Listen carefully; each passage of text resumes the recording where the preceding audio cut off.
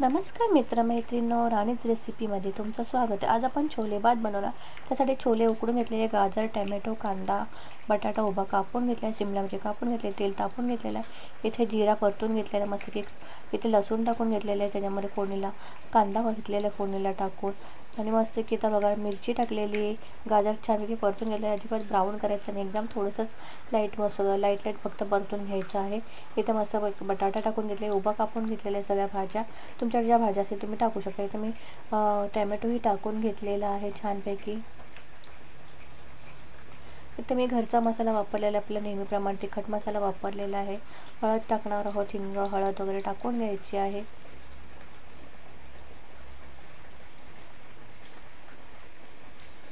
छान एक परत परतून घेते तर बघा मी पावभाजी आणि गरम मसाला बिर्याणी मसाला वापरलेला आहे. तुम्ही वापरा बिर्याणी मसाला गरम म्हणजे पावभाजी मसाला वापरा. तेच येते भाताला खूप सुंदर. तर आपण छोले उकडून घेतलेले ते टाकून घेणार आहे. जसं आपण मटर भात पनीर भात वगैरे बनवतो ना तसं ते छोले भात बनवायचं आहे. लहान मुलांना आवडतं मोठा नाही आवडतं. कधीतरी वेगळं असं करून बघायला काहीच हरकत नाही. इथे मस्त तुम्ही हे काळं वाटून घेतलेलं नेहमीपर्यंत वाटण मी वापरतो तो घेतलेला. तुम्ही लसूण आल्याची पेस्ट वापरली तरी काहीच हरकत नाही. हिरवा वाटण वापरलं तरी चा चालेल काहीच हरकत नाही. आणि छान मी परतून घेतलेलं आहे. इथे मीठ टाकून घेत आहे. चवीनुसार मीठ टाकलेलं आहे. आता तांदूळ घेते टाकून मी घरचेच तांदूळ वापरते. इथं नेहमी जे वापरले जाते तेच तांदूळ वापरले अजिबात बासमती वगैरे वापरले नाहीत. आता मी ह्याच्या मस्त की परतून घेते एक आठ मिनिट परतून घेत आहे. आता ह्याच्यामध्ये मी गरम पाणी टाकून घेणार आहे. दीड वाटी तांदूळ वापरले त्यामुळे तीन वाटी गरम पाणी टाकून घेणार आहे.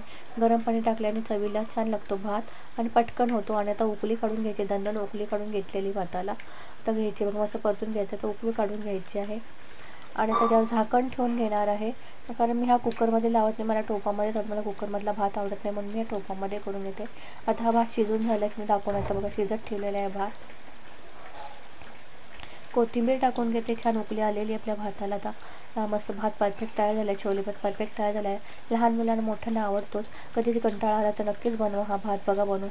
खूप सुंदर लागतो त्याच्यामुळे पापड लोणचं भाजी किंवा नुसतंच खाल्लं तरी चालतं काहीच हरकत नाही. आता परफेक्ट असा भात तयार झाला आहे आता मी हा थालीमध्ये सजून दाखवणार आहे. इथे मी थाली सजून दाखवणार बघा. परफेक्ट असा भात तयार झालेला आहे. इथे सुंदर असा भात तयार झाला. वाफाळ्या गरम गरम छोले भात तयार झालेला आहे.